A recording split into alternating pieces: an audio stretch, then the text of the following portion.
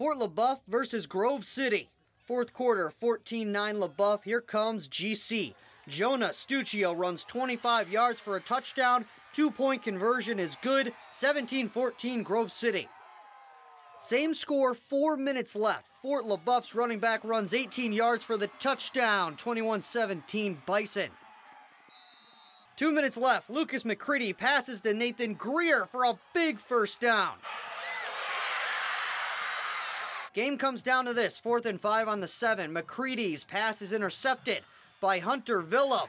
Bison win 21 17.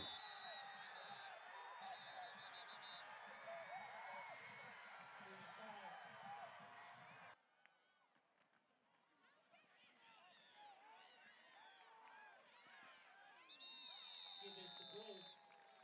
Looks like the Eagles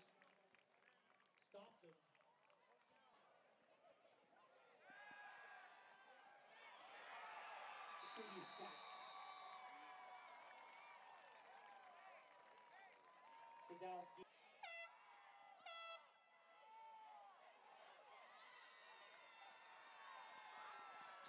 Wilson carry.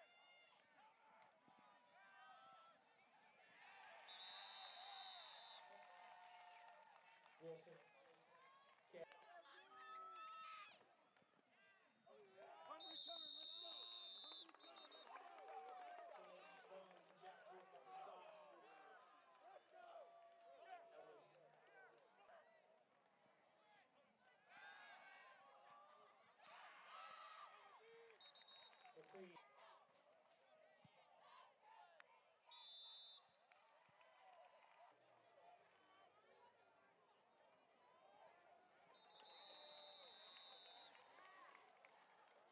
Swanson keeps where he's first met.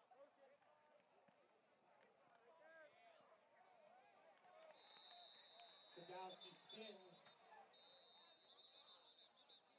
Tack.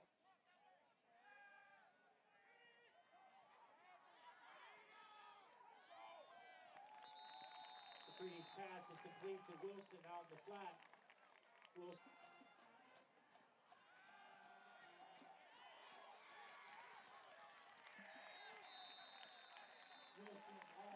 Wilson off the left hand side. Takes it into Bison territory.